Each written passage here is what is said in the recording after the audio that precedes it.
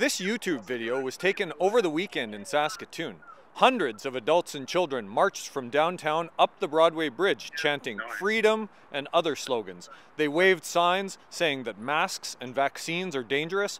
Other signs warned that our governments were using the pandemic to establish a dictatorship.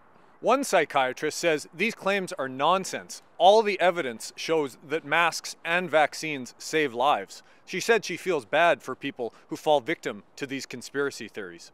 She believes the protesters represent only a small minority of the population. She hopes everyone will look at the facts and not be swayed by emotion or the lies circulating on social media. If COVID overwhelms our system, that affects everybody. That affects um, what happens if you break your arm. That affects what happens if you come in because you're depressed. That affects, um, you know, if you're in a car accident. Uh, so I think people people have a bit of, you know, blinders on for for what COVID means or um, how it may or may not affect them.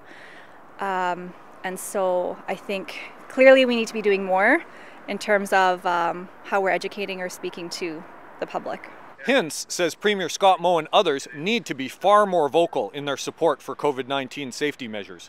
She says the weak public statements from leaders are emboldening the conspiracy theorists.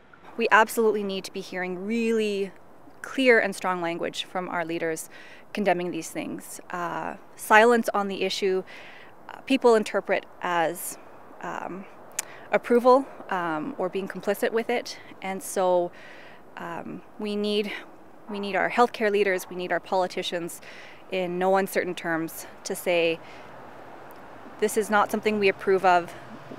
This is, you know, we need to condemn this. Um, this is not a forward step um, in getting out of this pandemic. Later today, Moe did respond to questions about the rallies. This most certainly is a new level of problematic when it comes uh, to these types of protests. Not only are they breaking the law themselves, they're encouraging others to do so.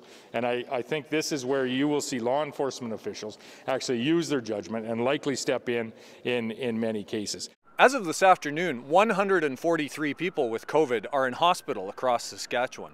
Hinz said the public and leaders can do their part to bend the curve by loudly and clearly condemning the conspiracy theories.